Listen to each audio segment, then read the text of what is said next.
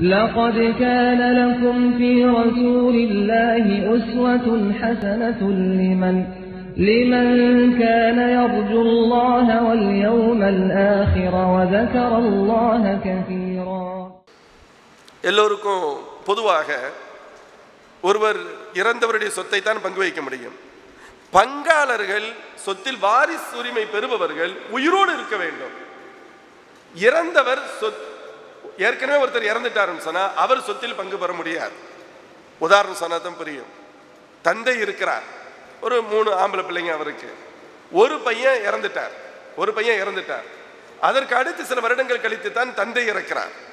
இப்பொழுது இந்த இறந்த பையனுக்கு இறந்த பையன் சொன்னால் என்ன கொஸ்டின் வரும்? இறந்த பையனுக்கு குடும்பம் இருக்குன்னு வச்சுக்கோங்க. அவருக்கு நிக்க ஆயிடுச்சு மனைவி இருக்காங்க மக்கள் இருக்காங்க. ஆனால் தந்தை இறந்து விட்டார். தன் இவர் ஏற்கனவே இறந்து விட்டார். இவரது தந்தை ஐந்து வருடங்கள் கழித்து இறக்கிறார். தந்தையுடைய சொத்து பிரிக்கப்பட போகிறது. இப்பொழுது இவருக்கு மனைவியும் மக்களும் இருக்கிறார்கள். இவங்களுக்கு சொத்து கிடைக்குமான்னு கேட்டா சொத்து கிடைக்காது. இங்க நமக்கே ஒரு உறுத்தல் வரும். இது என்ன நியாயமா தெரியலையே. இது கொஞ்சம் பிரச்சனை தானே அப்படிங்கிற எண்ணம் இயல்பாக வரலாம். எங்கு இயல்புன்னா நம்ம எந்த வார்த்தையை சொன்னாலும் சரி சரியத்தின் சட்டத்திட்டங்களில் நமக்கு தெளிவு கிடைக்கவில்லை ஆனால் எனக்கு தெளிவு கிடைக்கவில்லை என்று சொல்ல வேண்டுமே தவிர சரியத்து குறை என்று ஒருபோதும் மறந்து விட்டு கூட சொல்லிவிடக்கூடாது நாம் தெளிவை தேடவில்லை என்ற அர்த்தம் நாம் தெளிவை நோக்கி போகவில்லை என்ற அர்த்தம் தெளிவை புரிகின்ற அளவிற்கு நம்முடைய அறிவுக்கு திராணி இல்லை என்ற அர்த்தமே தவிர அல்லாஹ் ரசூலுடைய சொற்கள் ஒருபோதும் இதாக. மார்க்கம் ஒரு பொது சட்டத்தை தருகிறது உயிரோடு இருப்பவர்கள்லாம் சொத்தின் பங்காளர்கள். இறந்து விட்டவர்கள் சொத்தின் பங்காளர்களாக வர முடியாது. இறந்தவங்க சொத்தின் பங்காளராக வர முடியாது. அப்போ உங்களுக்கு இப்படி ஒரு கேள்வி எழும் இயல்பாகவே ஒருத்தருக்கு மூணு பிள்ளைங்க ஆம்பளை பிள்ளைங்க பொம்பளை பிள்ளைங்க இருக்கிறாங்க. மூணு ஆம்பளை பிள்ளைங்க ரெண்டு பொம்பளை பிள்ளைங்க ஏதோ வச்சுக்கோங்க. ஒரு மகன் இறந்து விட்டார். ஒரு மையன் இறந்துட்டார். அவருக்கு மனைவி இருக்கிறாங்க விதவையான மனைவி. அவருக்கு பிள்ளைகள் இருக்காங்க சின்ன பிள்ளைங்க இருக்கிறாங்க. ஒரு பிள்ளையோ ரெண்டு பிள்ளையோ மூணு பிள்ளை எது வேண்டாலும் வச்சுக்க குழந்தைகள் இருக்கிறார்கள். இப்போ நம்ம சட்டம் வருது. தந்தை இப்பொழுதுதான் இறக்கிறார். அவங்க அப்பா இறந்துட்டார். ஜாயின்ட் ஃபேமிலியாகவே இருந்தாங்க இப்போ அப்பாவுடைய சொத்து கொடுக்கப்பட வேண்டும். அந்த அந்த பங்களிப்பு வருகின்ற பொழுது வாரிசுரிமை வருகின்ற பொழுது அவருடைய இரண்டு ஆண் பிள்ளைகள் மற்ற ரெண்டு பொம்பளை பிள்ளைங்க இருக்கிறாங்க. இருக்கிறாங்க. இப்போ இந்த நேரத்தில் இந்த நேர அவங்களுக்கு சொத்து பகிர்ந்து கொடுக்கப்படுது. இந்த பையன் பேரன் இருக்கான்ல இறந்தவரின் மகன் பேரன். இவன் அப்பாவியா வந்து நிற்கிறான் எனக்கு ஏதாவது கொடுங்கங்கிறான். எப்படி இருக்கும் அந்த நேரத்தின் சூழல்? இவன் கேட்குறான் கேட்கல ரெண்டாவது விஷயம். எப்படி இருக்கும்? அவன் கேட்கலைனாலும் கேட்குற நிலையில தான் இருக்கிறான்னு அர்த்தம். கேட்கவில்லையானாலும் பேசாமல் கேட்டுக்கொண்டு இருக்கிறான் என்ற அர்த்தம். இப்ப மார்க்க சட்டம் என்ன அப்படின்னு பார்த்தா மார்க்க சட்டம் பேரன் சொத்துல பங்கு பெறுவானா? அத்தா வந்து இறந்துட்டார். இந்த பையனுடைய அத்தா இறந்துட்டார். இறந்தவர் சொத்தில் பங்கு பெற மாட்டார். முடிஞ்சு போச்சு. இறந்தவருக்கு சொத்துல பங்கு கிடைக்காது. சரி இவன் பேரன் இருக்கிறான்ல பேரன் சொத்துல பங்கு பெற மாட்டானே இல்லையா? மார்க்கம் சொல்கிறது இறந்தவருக்கு மகன் இருந்தால் பேரன் பங்காளியா பங்கு பெற- மாட்டான். இறந்தவருக்கு மகன்கள் இல்லையானால் பேரன் தானாக சொத்தில் பங்கு பெற்று விடுவார் இறந்தவருக்கு ஆம்பளை பிள்ளைங்க இல்லைன்னு வச்சுக்கோங்களேன் இறந்தவருக்கு இப்ப ஆண் பிள்ளைகள் எல்லாமே மௌத்தாயிட்டாங்க. அவங்க பேரந்தே இருக்காங்கன்னா பேரமார்கள்லாம் சொத்தின் பங்காளர்களாக வந்துருவாங்க. ஏன் ஆண் பிள்ளைகள் இல்லை? இறந்தவருக்கு ஆண் பிள்ளைகள் இருக்கின்ற பொழுது பேரன் சொத்துல பங்காளியாக வரமாட்டான். இப்ப என்ன கேட்பாங்க என்னங்க இப்படி சொல்றீங்க? இது ஒரு கொடுமையான சட்டம் இல்லையா? அவருடைய இரண்டு மகன்கள் ஆரோக்கியமா இருக்கிறாங்க சம்பாதிக்கிறாங்க நிறைய சொத்து வச்சிருக்கிறாங்க. இவங்களுக்கு சொத்து கொடுக்கணுமா? ஒரு பையன் அவருடைய பையன் தானே? அவன் இறந்துட்டாரு. அவருக்கு சின்ன கை கொள்ள சின்ன பசங்க இருக்கிறாங்க. அவருடைய மனைவி விடவா இருக்கிறாங்க. அந்த பெண்ணுக்கு சொத்துல பங்கு இல்லைன்னு சொல்றீங்க. அந்த குழந்தைக்கு சொத்துல பங்கு இல்லைன்னு சொல்றீங்க. உங்களுடைய மார்க்கம் நியாயமானது. நீ ரொம்ப நடுநிலையானதெல்லாம் சொல்லிக்கிறீங்க. இப்போ அம்போடு மார்க்கம் விட்டுருச்சு. கேட்பாங்களா? இல்லையா? கேட்பாங்க. நமக்கே டவுட் வருதுல்ல. அப்ப அடுத்தவன் கேட்க மாட்டானா? சொன்னா கண்டிப்பா கேட்பான். ஆனால் இது மார்க்கம் எப்படி சொல்லி தருகிறது? சொத்துல பங்கு இல்லைன்னு சொன்னதெல்லாம் கரெக்டு தான். மார்க் நல்லா கவனமாக கேட்டுக்கங்க. மார்க்கம் இவனுக்கு டைரக்டாக சட்ட ரீதியாக சொத்தில் பங்கு இல்லை என்று சொன்னதை தவிர இவனுக்கு சொத்து கிடைக்காமல் இருப்பதற்கு மார்க்கம் தடையாக இருக்கவே இல்லை. எப்படி? ஆச்சரியமா இருக்கு. எப்படி? நல்லா பார்த்துக்கங்க. பையன் இறந்துட்டார். அப்பா ஹயாத்தோட இருக்கிறார். அந்த அப்பாவுக்கு தெரியணும் தெரியும். நான் இறந்துட்டேன்னு சொன்னால் என் பேரனுக்கு கிடைக்காது. அப்போ நீ என்ன பண்ணியிருக்கணும்? ஓ சொத்து தானே? உன்னுடைய சொத்தா இல்லையா? நீ அந்த பையன் உயிரோடு இருந்தால் அவனுக்கு என்ன கிடைக்குமோ அந்த சொத்தை பேரனுக்கு எழுதி வச்சிருக்க வேண்டியதானே உன்னை யார் வேணாம் என்று தடுத்தது? புரியுதா புரியலையா? யார் தடுத்தது? நீ ஹயாத்தா இருக்கிற நான் ஹயாத்தா இருக்கிறேன் என் பையன் இறந்துட்டாரு அவருடைய பிள்ளை விடு- அனாதையா இருக்கிறான் எனக்கு தெரியாது தெரியணுமா இல்லையா? நான் இறந்துட்டேன்னு சொன்னா என் பசங்க மீதி உள்ள ரெண்டு பேரும் சொத்தை பங்கெடுத்துக்கிறவா இந்த சின்ன பிள்ளைக்கு கிடைக்காதுன்ற தெரிய வேண்டுமே உனக்கு? தெரிந்த நீ ஏன் கொடுக்காம இருந்த? நீ கொடுக்காம இருந்துட்டு மார்க்கத்தை குறை சொல்றதுக்கு யாரு? நீ கொடுத்துருக்கலாம். நீ எவ்வளவு கொடுத்தாலும் கேட்கறதுக்கு ஆளே கிடையாது. நீ ஒருவேளை தப்பு செய்யறா கூட உயிரோடு இருக்கிற பசங்களுக்கு இங்கேவா இருப்பா? நீங்கள்லாம் நல்லா இருக்கிறீங்க. உங்கள் நீங்களாம் என்கிட்ட எதுவும் எதிர்பார்க்காதீங்க. என் பேரை என் பையன் அவர் இறந்து பிள்ளை அனாதையாக இருக்கிறான். அவனுக்கு எந்த விதமான வசதி வாய்ப்புகளும் இல்லை. அவங்க அப்பாட்ட ஒன்றுமே இல்லாமல் ஒன்றையும் விட்டுட்டு போகலை. நான் கணிசமான பகுதி அவனுக்கு அதிகமாக கொடுத்துலான்னு நினைக்கிறேன். நீ தாராளமாக செஞ்சுருக்கலாம். இப்படி இருக்கின்ற பொழுது நியாயமாக அவனுக்கு என்ன கிடைக்குமோ அதையாவது நீ கொடுத்துருக்கணுமில்ல நீ கொடுக்கல. உன்னுடைய கஞ்சத்தனம். சரி அது ஒரு தப்பு. சரி அப்படி கொடுக்க சில பேருக்கு ஹயாத்தோட கொடுக்க மனசு வராது. யாருக்கா இருந்தாலும் மனசு வராது. யாருக்குமே கொடுக்கறதுக்கு அவங்க ஈயற மாட்டான் மார்க்க வசியத்துன்னு ஒண்ணு வச்சிருக்குல்ல ஒன் தேர்ட் வசியத்து பண்ணலாம்னு நீ மௌத்துக்கு பின்னால என் பேரனுக்கு பேரந்த வசி சொத்தில் பங்காளர வாரிசு வாரிசார வரமாட்டான்ல. அவனுக்கு நீங்க எழுதி வச்சிருக்கலாமா இல்லையா? என் மௌத்துக்கு பின்னால என் பையனுக்கு இரு என் பேரனுக்கு இருபது லட்சம் ரூபாய் கொடுத்துரு நீ சொல்லியிருக்கலாம்ல. யோசிக்கிறீங்களா இல்லையா? மார்க்கம் அந்த பேர குழந்தைக்கு சொத்து கிடைக்காம இருக்கிறதுக்கு வழி வைக்கல. சொத்துக்கள் பல வகையிலிருந்து கிடைப்பதற்குத்தான் வழியை ஏற்படுத்தியது. நாம் செய்த தவறு அது. சரி இன்னொரு வருஷம் சரி இது ஒரு தவறு. நம்ம செஞ்ச தப்பு. இன்னொன்னு இந்த இருக்கிற ஆம்பளை பிள்ளைங்க ரெண்டு பேரும் இப்போ மற்றவங்க இருக்கிறாங்களே இந்த பையனுக்கு மார்க்கம் சொத்தில் பங்கு இல்லை நீ கேட்கும் உரிமை இல்லை என்று சொன்னதே தவிர இந்த இருக்கிற ரெண்டு பசங்களுக்கு நீ கொடுக்க கூடாதுன்னு மார்க்கம் சொல்லவே இல்லை. புரியுதுல வித்தியாசம்? ஏன்னா இது ஒரு மாதிரியான கிளாஸுங்கிறதுனால இதனால் கேட்டு கேட்டு பேச வேண்டியது இருக்கு. இவனுக்கு கேட்குற உரிமை இல்லையே தவிர உடனே இதை பயன்படுத்திக்கிட்டு அந்த ரெண்டு பேரும் ஒரு மனமல்ட்டு ஃபத்வா கேட்பாங்க. ம- மதரசாக்களுக்கு ஃபத்வா எழுதி இற- இறந்து இந்த பேரனுக்கு சொத்துல பங்குண்டா? மதரசாக்களில் ஃபத்வா கொடுப்போம். வேற வழி இல்லை. இல்லை பேரனுக்கு பங்கு இல்லை. உடனே ஃபத்வா தூக்கிட்டு வருவான். பாருங்க ஃபத்வா இருக்கு. ஃபத்வா இருக்கு. என்ன ஃபத்வா இருக்குது அவனுக்கு வந்து சொத்துல பங்கு இல்லைன்னு இருக்கு. பங்கு இல்லைன்னு தான் ஃபத்வா இருக்கு. பங்கு கொடுக்க கூடாதுன்னு ஃபத்வா கிடையாது. நீ கொடுத்தா என்ன குறைஞ்சா போயிட போற? மார்க் அவனை கூடாதுன்னு சொல்லுச்சா? நீ யோசிக்கணும். எங்க அண்ணன் கூட இருந்திருந்தா என் தம்பி இருந்திருந்தா என்னுடைய சொத்துல எங்களுக்கு கிடைக்கிறதுல அவனுக்கு அதே மாதிரி தானே கிடைச்சிருக்கும். இப்ப என்னுடைய அண்ணன் இல்லை என் தம்பி இல்லை அவனுடைய சொத்துல ஒரு அவனுடைய சொத்துடைய அளவு இருக்கு. நாங்க கொடுக்குறோம் என்னுடைய சகோதரனின் பிள்ளைக்கு நீ கொடுத்திருக்க வேண்டும் அல்லவா? மார்க் என்னமோ கொடுக்க கூடாதுன்னு சொல்லலை. கொடுக்கக்கூடாதுன்னு சொல்லலை. சொல்லல அருமை இத்தனை வாய்ப்புகள் இருக்கிறது. சரி ஆனாலும் அப்ப நீ கேட்கலாம்? இவ்வளவு வசதி வாய்ப்புகளை ஏற்படுத்தி தந்த மார்க்கம் ஏன் கொடுத்து சொத்துல பங்கு இருக்குன்னே சொல்லியிருந்தா அந்த பிரச்சனையே இல்லையே அப்படின்னு கேட்கலாம். மார்க்கம் அதையும் சும்மா சொல்லல. சொத்துல பங்கு இல்லைன்னு சும்மா சொல்லல. நல்லா கேட்டுக்கோங்க. சொத்தில் யாரெல்லாம் பங்கு பெறுவார்களோ அவர்கள் கடனுலையும் பங்கு பெற வேண்டும். கடன்லையும் பங்கு பெறணும். இப்படிப்பட்ட பிள்ளைகள் சொத்து கிடைக்கிறதுக்கு மார்க்கம் வழி வச்சிருந்துச்சு கடன்ல பொறுப்பேற்கிறது மார்க்கம் அவங்கள பாதுகாத்துருச்சு. அப்ப மார்க்கம் செய்தது உதவியா கஷ்டமா? சொத்துல பங்கு பெறதுக்கு சொத்து கிடைக்கிறதுக்கெல்லாம் சோர்ஸ் இருக்கு. ஆனா சொத்து இல்லாத தந்தை மாட்டிக்கிட்டான்னு சொன்னா கடன்ல பொறுப்பேற்க வேண்டியது வரும். இவனுக்கு சொத்துல பங்கு உண்டு என்று சொல்லி இருந்தான் கடன்லயும் அந்த விகிதாச்சாரத்துக்கு பொறுப்பேற்க வேண்டியது வரும். மார்க்கம் அவனை கடனிலிருந்து பாதுகாத்தது. அவனுக்கு அவன்கிட்ட இருந்து போறதுக்கு மார்க்க கஷ்டம் கொடுக்கல. வருவதற்கு வழியை மார்க்கம் ஏற்படுத்தியது. அருமை மோமின்களே அல்லாஹ் அல்லாஹின் திருத்துதர் சல்லல்லாசன் மூலமாக அற்புதமான அற்புதத்தின் அற்புதமான சட்டங்களை அல்லாஹ் நமக்கு தந்திருக்கிறான். நம்ம வந்து சாதாரணமாக நினைச்சிட முடியாது. நாம் தவறு செய்து விடக்கூடாது நாம் நியாயமாக நடக்க வேண்டும். அதே போல இன்னொரு விஷயம். வளர்ப்பு பிள்ளைக்கு சொத்துல பங்குண்டா இது இன்னைக்கு பெரிய இன்டர்நேஷனல் ப்ராப்ளம் நம்ம ஊர்களிலாம் இது ஒரு பெரிய பிரச்சனையாகவே இருக்கு. வளர்ப்பு பிள்ளைகளுக்கு சொத்துல பங்கு இருக்கா? ஏன்னா வளர்ப்பு பிள்ளை ஒரு வரியில் சொல்வதானால் வளர்ப்பு பிள்ளைகளுக்கு சொத்தில் பங்கு இல்லை. அஞ்சு பைசா கூட கிடைக்காது ஆனால் இங்கேயும் ஒரு விஷயம் இருக்குது நம்ம வந்து சட்டங்களை மீற முடியாது. வளர்ப்பு பிள்ளைக்கு சொத்துல பங்கு இல்லை. ஆனால் வளர்ப்பு பிள்ளைங்களுக்கு கொடுக்க கூடாதுன்னு மார்க்கம் சொல்லலை. இவன் ஹயாத்தோடு இருக்கின்ற பொழுது ஒரு குறிப்பிட்ட அளவை கொடுக்கலாமா? கொடுக்கலாம். ஏன்னா வந்து சொத்துல பங்கு இல்லையில. ஹயாத்தோடு இருக்கும் பொழுது கொடுக்கலாமா? கொடுக்கலாம். அல்லது மௌத்துக்கு பின்னால வசியத்தின் மூலமாக கிடைக்க செய்யலாமா? வசியத்து மூலமாக கிடைக்க செய்யலாம். அத்தகைய வாய்ப்பை மார்க்கம் வச்சிருக்க தான் செய்யுது. ஆனால் வாரிசுரிமை என்ற அடிப்படையில் சட்ட ரீதியாக அவன் பங்கு பெறுவானா என்று கேட்டால் பங்கு பெற மாட்டான்.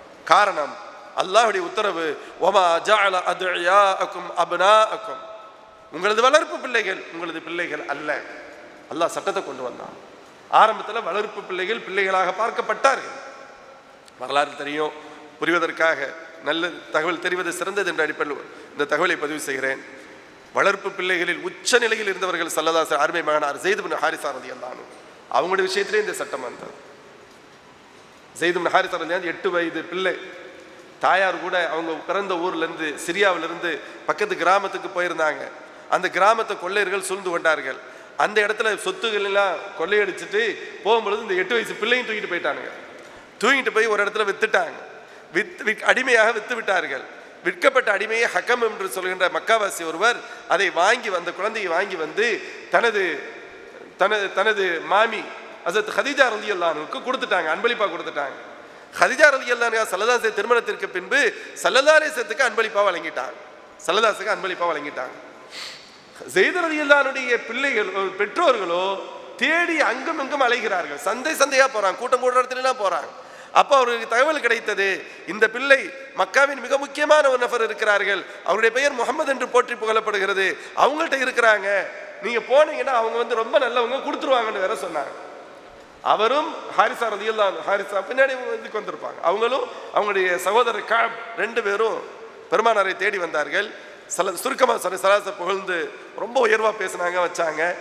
ஏன்னா அவங்களுக்கு வேலை ஆகணுமில்ல பேசிட்டு கேள்விப்பட்டதெல்லாம் சொல்லிட்டு என்னுடைய பிள்ளை அவர் எங்கள் கூட கொஞ்சம் அனுப்பிட்டீங்கன்னா நீங்கள் ரொம்ப நல்லவங்கன்னு கேள்விப்பட்டிருக்க உதவியாக இருக்கும். நீங்கள் என்ன கேட்டாலும் கொடுத்துட்றோம் அப்படின்னு சொன்னாங்க. அதற்கான பரி ஏன்னா அடிமையாக விற்கப்பட்டு வாங்கப்பட்ட பொருள் தானே. நீங்கள் என்ன கேட்டாலும் தந்துடுறேன்டாங்க சொல்லலாம் அலை செல்லத்துக்கு உள்ளுக்குள்ள ஒரு கவலை. பிள்ளையை எப்படி கொடுக்குறதுன்ட்டு. ஆனாலும் சொன்னாங்க. நீங்கள் ஓகே நீங்கள் எதுவும் தர வேண்டியதில்லை. நஷ்டஈடு அது இது ஒன்றுமே வேணாம். அந்த பிள்ளையை கூப்பிட்றேன்.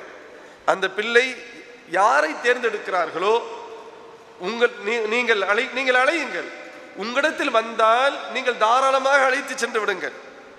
ஒருவேளை வர முடியாது என்று என்னை தேர்ந்தெடுத்து அவர் தேர்ந்தெடுப்பாரே ஆனால் என்னை தேர்ந்தெடுத்தவரை நான் வற்புறுத்தி அனுப்ப முடியாத நிலைக்கு தள்ளப்படுவேன். அவங்க சொன்னாங்க அதை பத்தி பரவாயில்ல. ஏன்னா பிள்ளை எப்படி அப்பா அம்மாட்ட வராமல் இருக்கும் என்ற எண்ணம். பரவாயில்ல அல்ஹம்துலில்லாஹ் நீங்க இவ்வளவு சொன்னதே போதும் அப்படின்னு சொல்லி அதுக்கு ஒரு சுக்கர் சொன்னாங்க. பிள்ளை அழைக்கப்பட்டார் ஜெய்தரதி எல்லாம் சலாசம் கேட்டாங்க இவங்களை தெரியுமான்னு? கேட்டாங்க. ஆ தெரியும்னு சொன்னாங்க. எட்டு வயசுல தானே வெளியே வந்திருக்கிறாங்க. அதனால நல்ல ஞாபகம் இருக்கு. தெரியும்னு சொன்னாங்க. இவர்கள் எனது தந்தை இவர்கள் எனது சிறிய தந்தை. கரெக்டாக ஐடென்டிஃபை பண்ணி அடையாளம் சொன்னாங்க. இப்போ அவங்க உடனே தம்பி சொல்ல அது நீண்ட நாளைக்கு பின்னால் பார்க்கிறார்கள் அல்லவா? இது பண்ணி கூட வந்துருமா? அப்படின்னு சொல்லிட்டு கூப்பிடுறாங்க. அவங்க பேக் அடிக்கிறாங்க. சலாச பின்னால் வந்து நின்றுக்கிட்டாங்க. சலாச பின்னால் வந்து நின்றுக்கிட்டாங்க. நான் வரமாட்டேன் அப்படின்ட்டாங்க. நான் வரமாட்டேங்கிறாங்க. அவங்களுக்கு தூக்கி வாரி போட்டுருச்சு. இஃப்தர்த்தல் உபூதியா? உங்களை உன்னை சுதந்திர மனிதனாக வாழ வைக்க ஆசைப்படுகிறோம். நீ அடிமையாக இருக்க விரும்புகிறாயான்னு கேட்டாங்க. சொன்னாங்க எனக்கு இவர்கள் தாயும் எனது தந்தையும் சிறிய தந்தையுடைய இடத்தில் பெருமானார் இருக்கிறார்கள். இவர்களை விட்டு நான் ஒருபோதும் வரமாட்டேன். இந்த இடத்தை தவிர்த்து வேறு எந்த இடத்தையும் நான் தேர்ந்தெடுத்துக் கொள்ள மாட்டேன். கடகடன் பேசினான் பேச உடனே சல்லல்லா அலி சொல்லம் ஆச்சரியப்பட்டு போயிட்டாங்க. ஜெய்தரலாவுடைய மனக்குமுறல் வெளிப்பட்டதை பார்த்து. ஜெய்தரலி அல்லானுங்க சல்லதாசர் கையை இருக்க பிடிச்சாங்க. கூட்டிகிட்டு காபாவுக்கு வந்தாங்க.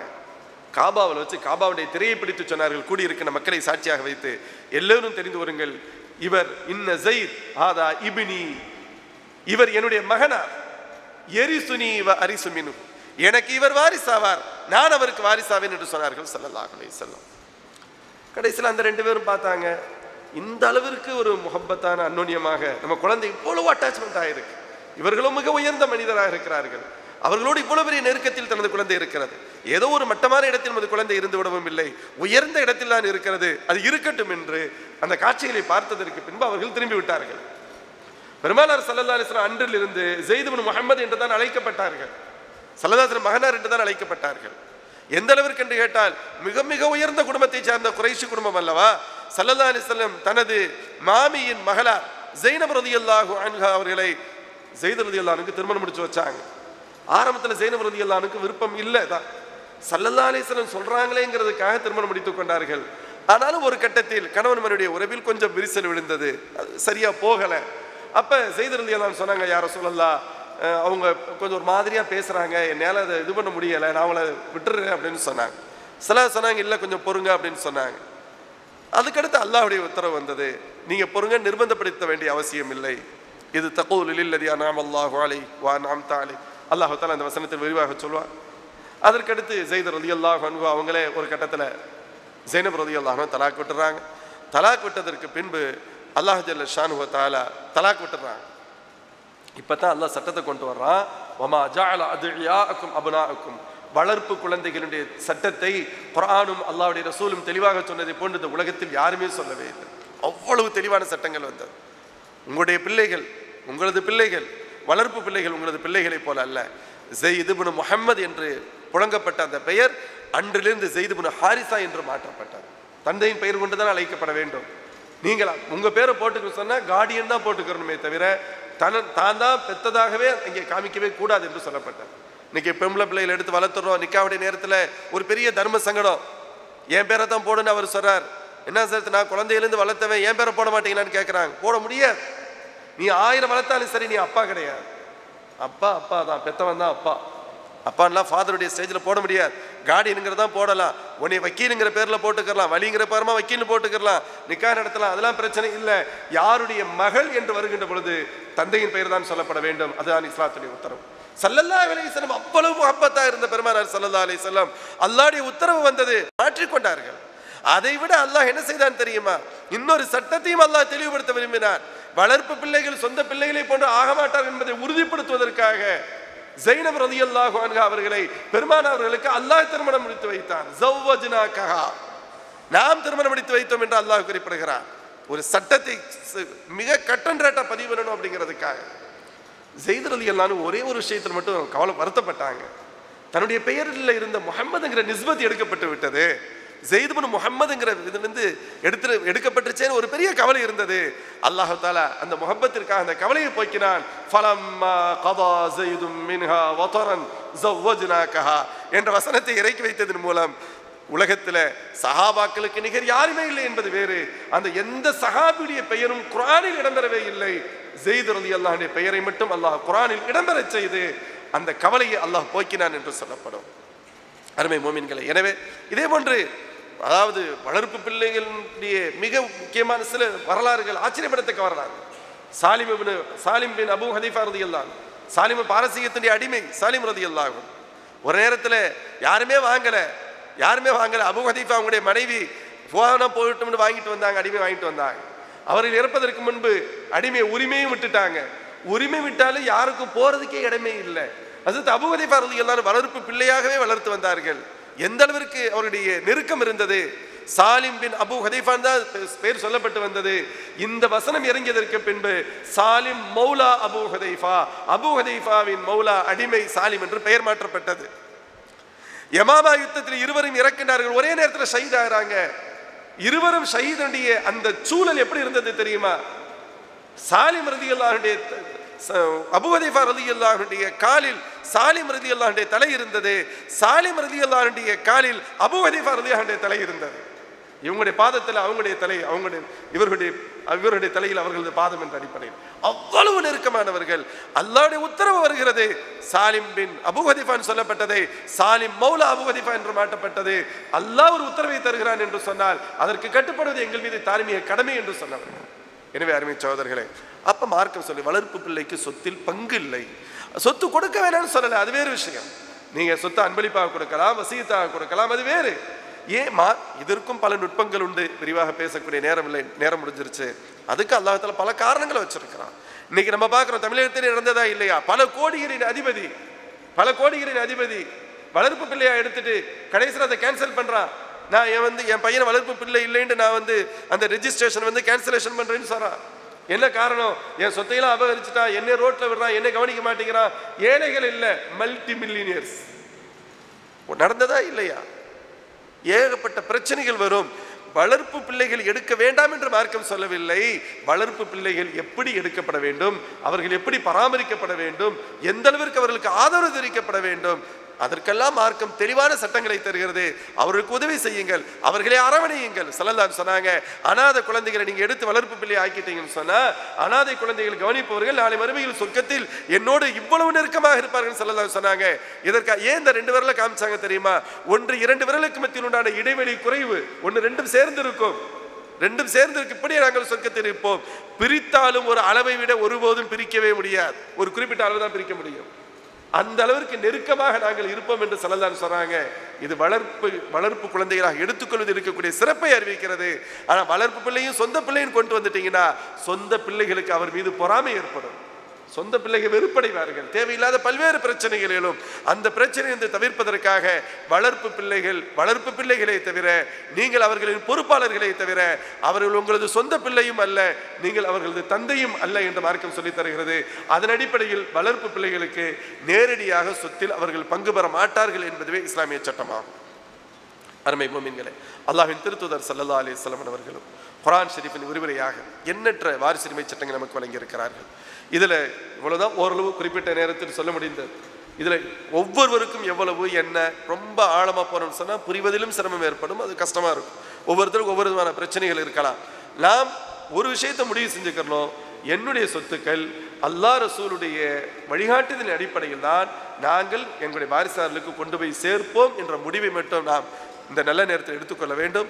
அதற்கு தெளிவுகள் கிடைக்காத பொழுது நாம் சரியான அனிதர் பெருமக்களை சந்தித்து நாம் தெளிவுகளை பெற்றுக்கொள்ளலாம் எல்லாம் அல்ல அல்லாஹ் ஷானுவத்தாலா அவன் நமக்கு வழங்கியிருக்கூடிய அனைத்து சட்டங்களை பின்பற்றி நடப்பதற்கும் வாரிசு குறிப்பாக வாரிசுரிமை சட்டம் நம்முடைய மனதிற்கு எத்தகைய சூழல் இருந்தாலும் சரி அல்லாஹ் ரசூடைய சட்டங்களே இறுதியானவை என்ற உள்ளத்தில் ஆழமான ஈமானையும் அதை பின்பற்றி நடக்க வேண்டும் என்ற மன உறுதியையும் அல்லாஹ் எனக்கு உங்களுக்கு உலக மூமின்களுக்கும் தருவானாக. வாஹிருதாவான் அனில் அஹமதுல்லாஹி ரபில் ஆலமி